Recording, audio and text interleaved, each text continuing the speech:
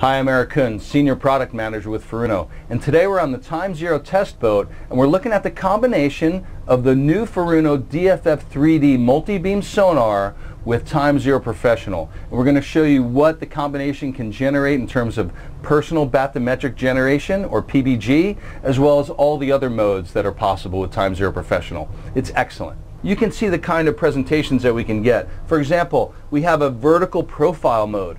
And in a vertical profile mode, the DFF 3D can give you information at a 120 degree swath under the boat. As you go deeper, that actually gets wider. So the nice thing about the DFF 3D is that when you're in, say, 30, 40, 50 meters of water, it actually gets wider and wider and the coverage doesn't lose any resolution because you're getting all that information from this multi-beam system generated at the same time.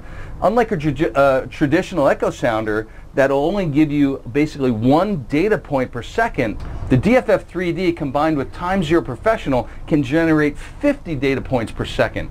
That's just imagine how much more area you can cover with PBG data than you could with a traditional echo sounder using this combination. Let's look at some other modes. For example, here's a combination of the triple beam down sounder mode from the DFF 3D combined with the vertical profile on the right hand side. And the nice thing about this mode is I can actually look at where the beams are pointed from the DFF 3D. We can have either three beams or a single beam down sounder and actually combine that and look at where the fish are or where the structure is underneath the vessel not just underneath but off to the sides is the important thing to understand.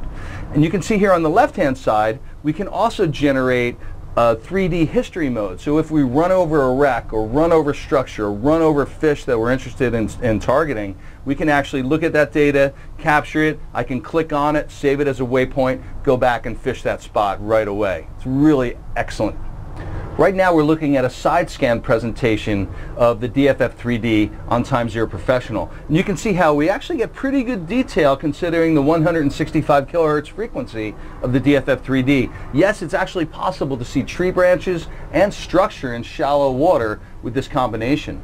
But when we jump over to the PBG mode is where the real power of Time Zero Professional and, DF, and the DFF 3D combined to create some incredible presentations. You can look at the screen and see how we're looking at both the vertical profile mode in the upper right hand corner as well as the, um, the 3D cube mode which is a PBG presentation as well as the actual PBG bottom spread presentation on a traditional chart.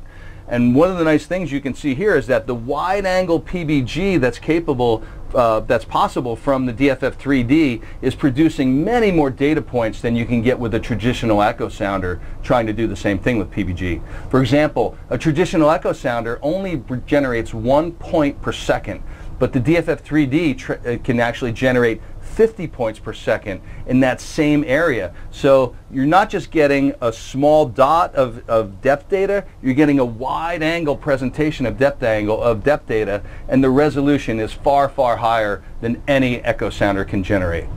For more information on the DFF 3D, visit FurunoUSA.com and for more information on the incredible power of the Time Zero Professional software, go to mytimezero.com. You can see a full explanation with more details about the system there.